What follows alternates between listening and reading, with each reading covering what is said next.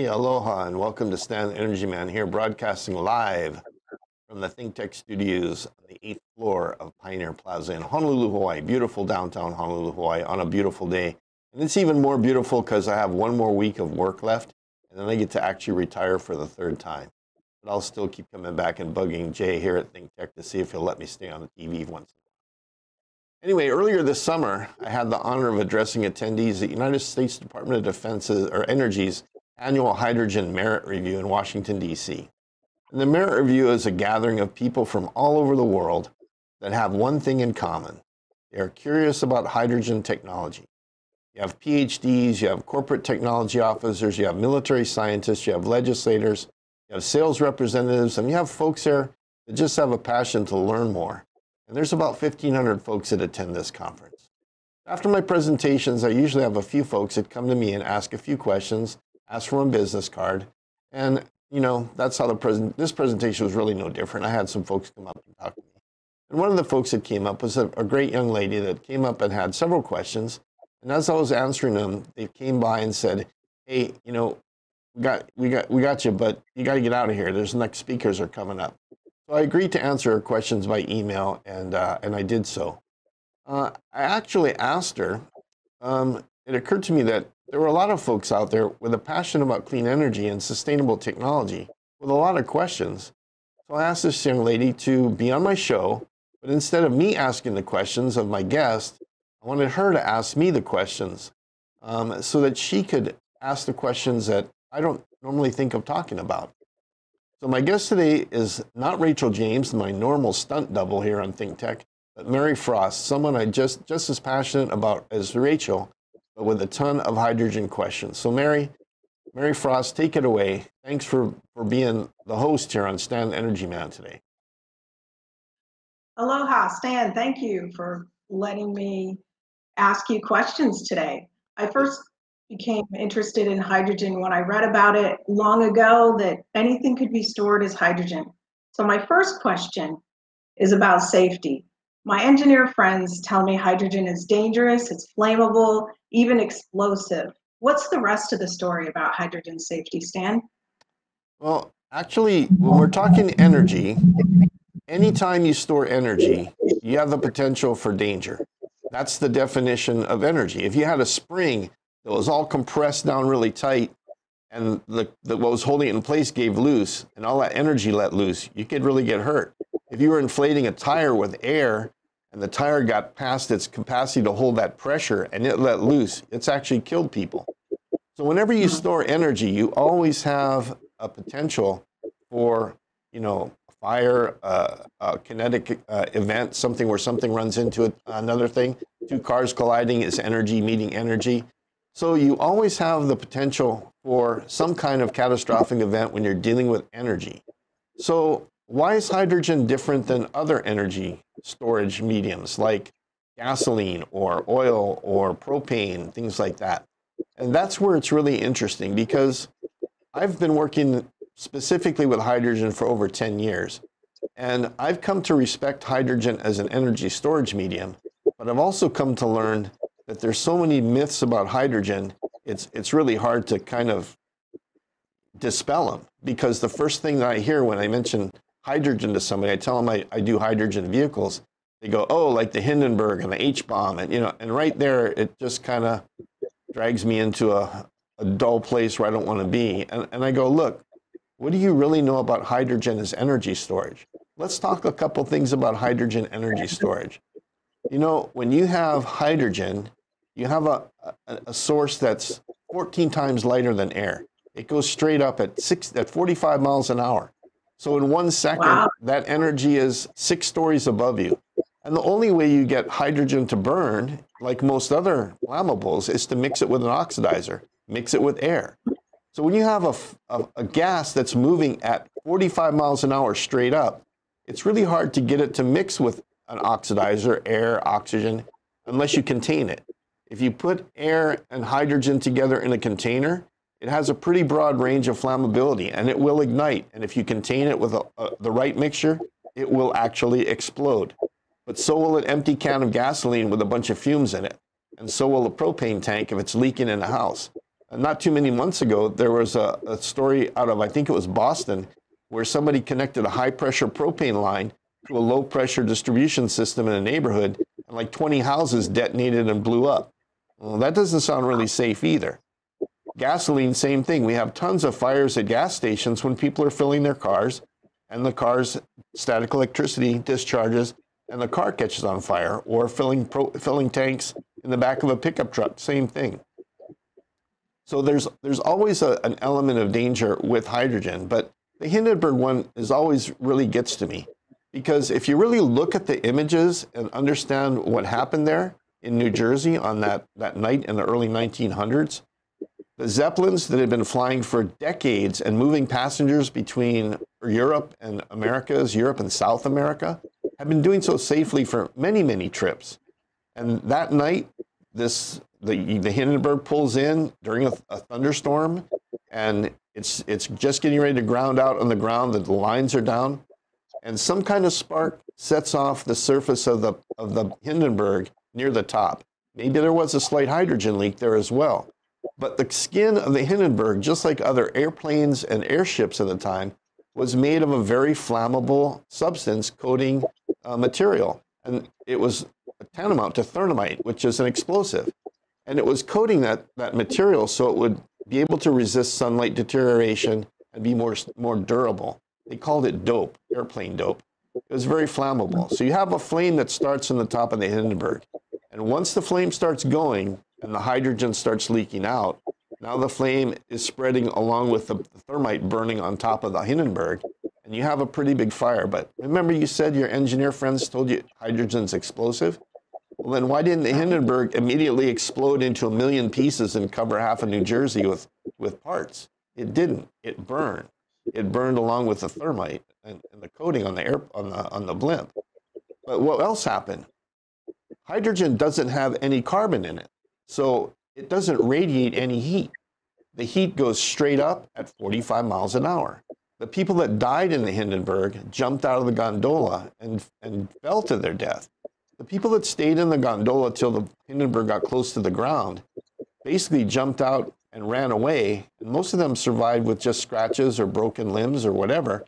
But they stayed close to the, the Hindenburg, I mean, close to the, the, the um, stayed in the gondola till they were close to the ground. And so, wow, how can they do that? Well, the flame and the heat was all going up. It wasn't radiating down and down into the ground and into the cabin where the, the people were. So it's it's really kind of interesting. I have a really short video. I kind of knew you would lead in with this because people always hit me with the Hindenburg right off the bat. So let's show a short video on what Paul Pontio on the Big On and Blue Planet Research demonstrates when he's talking hydrogen safety.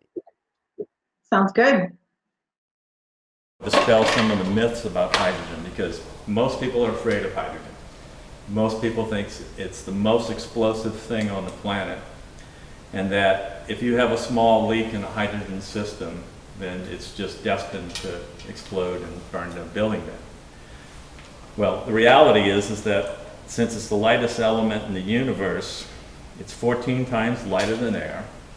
It goes up at 45 miles an hour when it's let loose. That's 66 feet a second.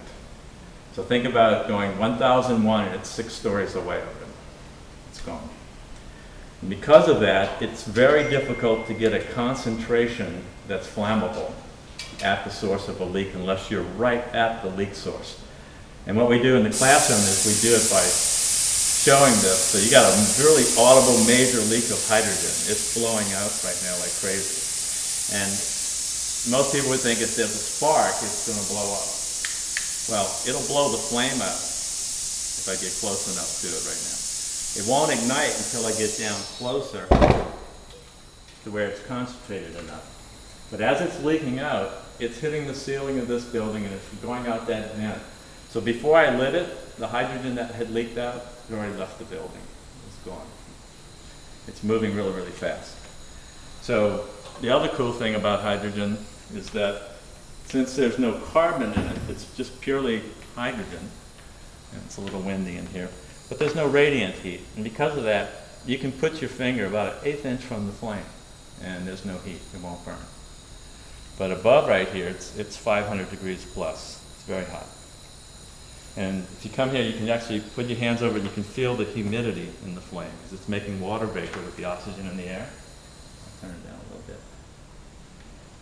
The other thing is the other big myth or misunderstanding, it's not a myth, is that hydrogen is invisible when it burns. Well, it is outside, so if we took this in the sunlight, you wouldn't see the flame. But indoors and in sub- subdued light, it burns orange. At nighttime, it burns bright orange. Yeah, I mean, I, I can get really, really close. And this tubing will actually, it's actually colder than room temperature right here. It's, it's hot by the jet, but it's pulling the heat out of the air and cooling down. So, so that one, I think that video is really cool. And the other thing to Very point out about the Hindenburg is, you know, like Paul says, most, most people, if you read Wikipedia, say that the hydrogen flame's invisible. Well, if it's invisible and the Hindenburg was on fire, then what was all that fire that we saw? If it wasn't hydrogen, it would be invisible technically if it was hydrogen. Most of that flame was actually parts of the Hindenburg that were burning other than the hydrogen. Hydrogen definitely was fueling that fire though, and it was a hot fire, all going straight up. So I hope that kind of gives people a, a feel for the safety. I'll only add that we trained a lot of firefighters here in Hawaii because we did have hydrogen fuel cell vehicles on the military bases. When the federal firefighters finished training, almost to a person, they said we'd much rather deal with hydrogen than gasoline or propane uh, in, in vehicle fires. So what else you got for me? All right, then. So if it's safe, what exactly is a hydrogen fuel cell and how does it work? Okay, a fuel cell is, is really a cool, it's a cool piece of equipment. And it's a confusing name because when I first started talking to people about fuel cells, they said, oh, is that where you store the hydrogen inside of a fuel, of a fuel cell? And I go, uh, no, I wonder why they gave it such a stupid name. Well, it finally Hmm. occurred to me that when you have a battery, like the battery in your car, 12 volt battery, it's actually called a wet cell battery. And when you have a nickel cadmium battery, it's a, it's a, it's a metal, metal battery. Uh, you have dry cell batteries, you have wet cell batteries, you have fuel cell batteries. So a fuel cell is really a self-charging battery. And last week on my Ah. show, I showed a video last week that had a really great animation of how a fuel cell works. But basically, a fuel cell is an anode and a cathode, just like a battery has. And on the anode side, you have hydrogen being pushed in. On the cathode side, you have air being pushed in with oxygen. And there's a membrane in between the two, at the anode and the cathode. Now, the air, air uh, atom is too big to go through the membrane, and the hydrogen atom is too big to go through the membrane. But they want to get together and make water. So, what happens is the hydrogen atom actually sheds its electrons, and the proton on the hydrogen atom goes through the membrane and goes to the other side, and the electron from the hydrogen atom, the electrons, go around and create a circuit. When you have a circuit, you're making electricity. So what you're doing with a fuel cell is you're running a self-charging battery that takes hydrogen into one side, air into the other side to make water, heat, and electricity. And that's a fuel cell. It's really basic, it's really fundamental, it's really, really cool technology, and there's zero pollution. The water that comes out of a fuel cell, you can just drink it. The vehicles that they make nowadays that use fuel cells either put out evaporated um, ev- evaporation, a little bit of water in a mist, or they actually collect the water into a little th- reservoir that you can drink, or you can just dump it. Water your garden. So, is there anything else about fuel cells that, that you had a question on? No, um, shall we go on to the next question? What are Sure. what are the advantages of hydrogen compared to other fuels? I specifically for energy storage. Okay, I brought a book with me today because again, this is this is my, one of my reference books, and it's you can get it in most hardware stores. But what amazed me was one day I was looking through it, looking for something else, and they have a chart in here called battery characteristics, and it has a whole bunch of data on on batteries. And in the list, I was surprised to see fuel cells. So I went, huh. I wonder how they compare. I wonder how batteries compare side by side to you know each other and to fuel cells. So I looked in there and I go, okay, ammonia battery. I've never heard of an ammonia battery, but it, it can store 1,400 amps, amp hours per kilogram. So for every kilogram of, of storage you have, you can get 1400 amp hours of energy out of it. Uh, let me see, they've got um, nickel cadmium batteries. They're 165 amp hours per kilogram. That's pretty good. Lithium batteries. Lithium batteries are 865 amp hours per kilogram. That's really good. Uh, I always wondered why we used hydrazine and F-16s for energy storage. And I, under the fuel cells, it has hydrazine is 2100 amp hours per kilogram. That's, that's pretty good compared to the two batteries I just talked about. Lead acid batteries are about 55 amp hours per kilogram. Would you like to hazard a guess what hydrogen is? In a hydrogen uh, fuel cell, in a hydrogen fuel cell system. Oh, did you have a guess? No, no, go ahead. 20, I was going to guess like 20. 26,000 amp hours per kilogram. By oh. weight, hydrogen is the most energy density storage medium you can get. So when you have a kilogram of hydrogen, you have about two and a half pounds of hydrogen. Think of that. Mm-hmm. Think of that compared to batteries, where for every in a lead acid battery, every kilogram is uh, every kilogram has 55 amp hours of storage, and you want to get to 26,000 amp hours. That's how much by weight, how much more heavy it is. I try to encourage the Air Force to look at hydrogen because in aviation, everything's about weight. You know, we're going to take a quick break here for uh, 60 seconds, and we'll be back with Mary, and she can hit me with uh, a couple more questions. Thank you. Aloha. My name is Mark Shklov. I am the host of Think Tech Hawaii's Law Across the Sea program. My program airs every other Monday at 1 o'clock on Think Tech Hawaii. Most of my programs deal with my own life and law experience. Recently, I interviewed Alex Jempel, who I have known for over 30 years, about his voyage across the sea as a lawyer from Tokyo to Hawaii. Those are the type of stories that I like to bring and like to talk about. Human stories about law and life. Aloha. Aloha, everybody. My name is Walter Kawai. I'm your host for our monthly uh, live streaming video uh, entitled Ukulele Songs of Hawaii, where I bring on guests. We enjoy talking story about the music industry here in Hawaii, uh, sometimes going back uh, 50 decades if possible, and uh, always having some good fun talking with entertainers. We're here located at Think Tech Hawaii, downtown Honolulu at the Pioneer Plaza building and uh, in their studios. And so join me next month for Ukulele Songs of Hawaii.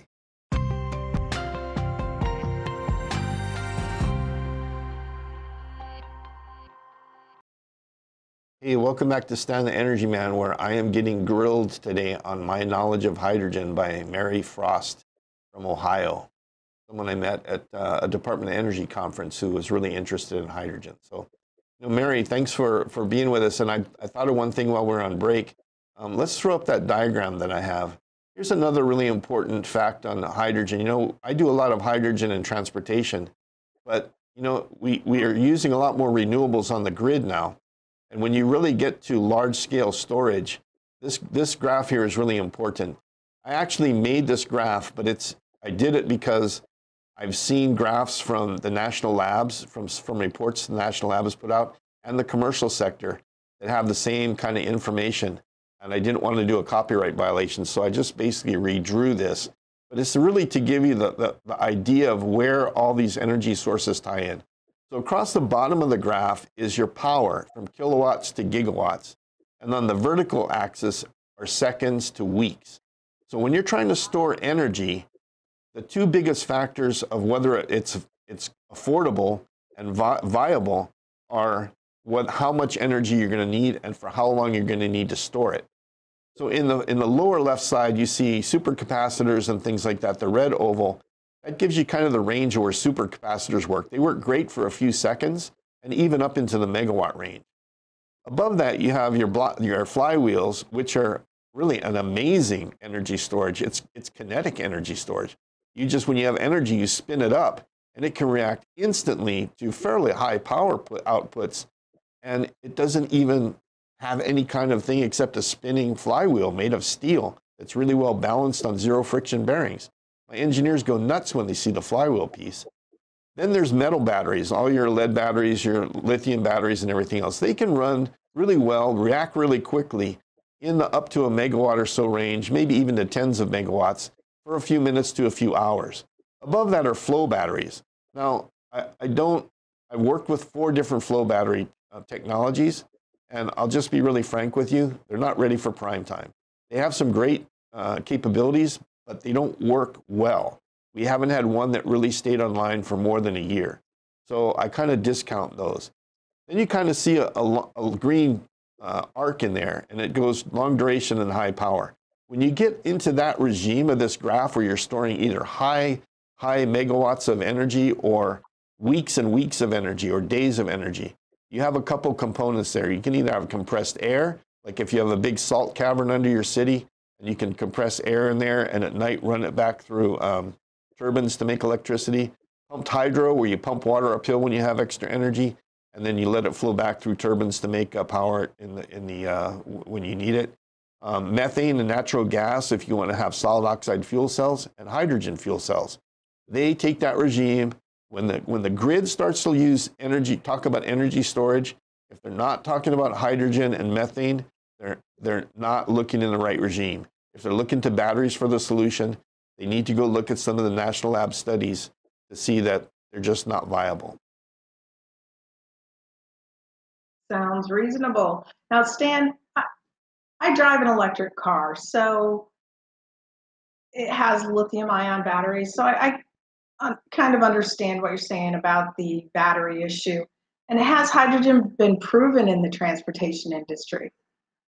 Actually, hydrogen is actually, this is a surprise to most people on the planet because, you know, unless you live in California um, and visit California a lot, California actually has about 6,000 hydrogen fuel cell commercial production vehicles on the road. And they do because they have the stations to fuel them. The, almost no other state in the United States has hydrogen fueling stations for vehicles. We have one in Hawaii put together by the Servco, the local Toyota dealership. Um, so we do have one commercial hydrogen station that's made just for Toyotas. But the, the, the big vehicle manufacturers are all focused on hydrogen for transportation. And it goes back to that weight to energy thing. If you had batteries in, in vehicles and you really wanted to go 300 miles like a Tesla, you literally have a ton of batteries in the car.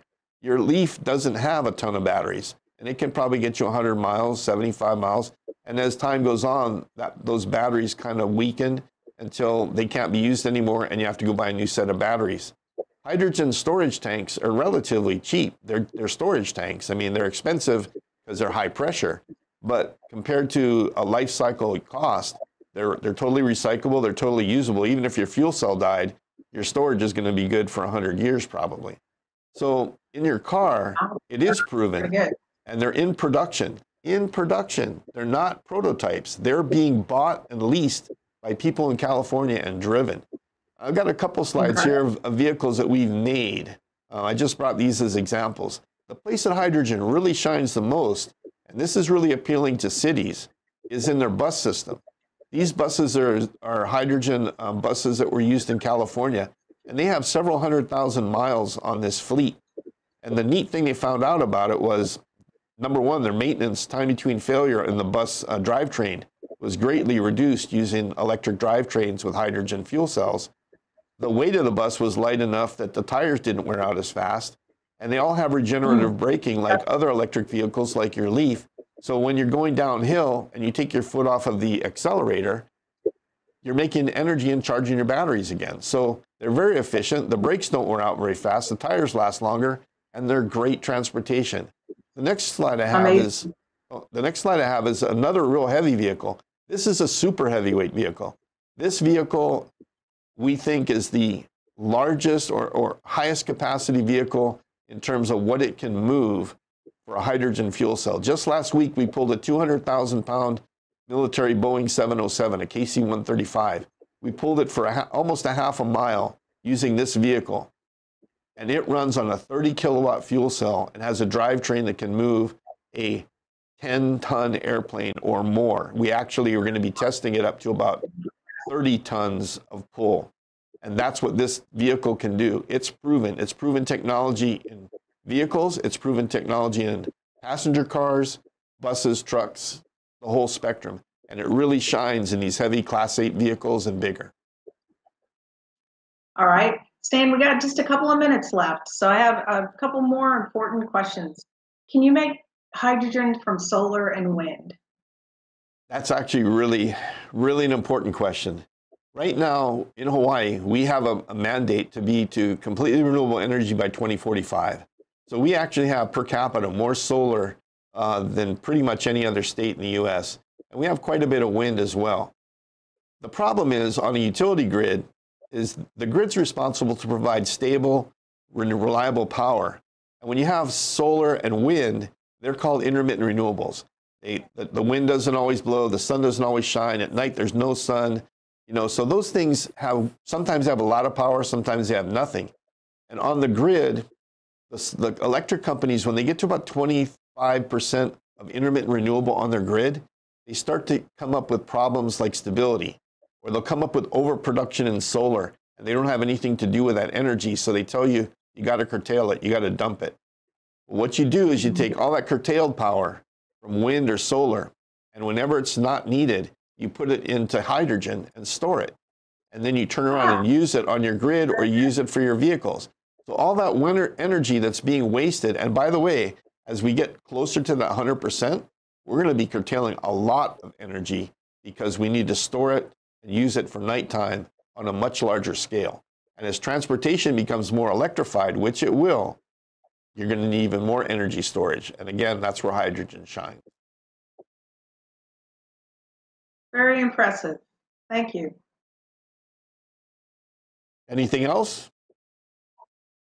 Uh, how would hydrogen energy storage be? Well, you already spoke about the grid and that it would be advantageous. So that was my that was my last question. I think there's another there, there's another great part about the grid that I forgot to mention. So thanks for reminding me. But you know, when when you have that stability issue on the grid, you, yes. when you make the hydrogen, it can actually be a load. So right now, when a utility company is operating, they have what's called a spinning reserve. They'll actually run hmm. a generator all the time just in case they need the energy. And what I'm trying to do on our microgrid project is take get our engineers to agree that a flywheel can do that more efficiently than a, than a, a generator. And hydrogen can do it as well by becoming a load where instead of, instead of trying to ramp up generation, you can take that solar and you can turn it into a, into a, a production of hydrogen and basically level your, your um, distribution of energy using the, the electrolyzer as a load instead of using it just to generate hydrogen. It can actually be something to help the grid stabilize itself. So there you go. And, and uh, you know what? I know that you probably have some more questions somewhere, and I'm going to give you some more time, and we're going to have you back on another show sometime, and we're going to keep doing this because I really, I really had a good time, and I appreciate your your passion, and I appreciate you taking the time to spend some time with me today. And I'm going to leave you the last minute or so to say whatever you like, and and uh, we'll call it a wrap for today. So thanks for being on the show. Well, thank you very much for letting me ask you my questions. As a as a financial accountant, though, I think if I come back on again, I may have to actually grill you next time. Okay, I better bring my economic guy. advisor. I'll bring my economic advisor with me so I can do that. Because um, yeah, we, we that's also another question I get uh, asked a lot. How much does a hydrogen station cost to build? How much is the infrastructure? When's the, what's the return on investment? Those kind of things. And right. that's a, actually a fairly complex field, and a lot of it has to do with economy of scale and things. But those are some great questions we'll hit next time. So, so promise me you'll come on and grill me again. Oh, I would enjoy that. Thank you very much for having okay. me. Well, Mary, Mary Frost, thanks for being on the show today. And uh, I really appreciate it. And uh, for my last show as a state employee where I won't have to do this on my lunch hour anymore, Aloha from Stan, oh. Energy Man, and we'll we'll, we'll see you uh, when I'm a civilian next uh, Friday. Aloha. Okay. Oh, mahalo. Thank you, Stan.